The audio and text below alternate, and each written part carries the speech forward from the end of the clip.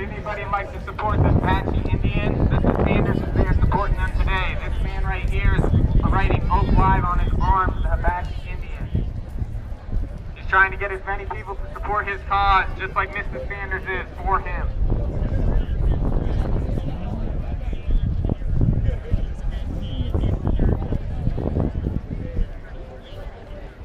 Feel the buzz!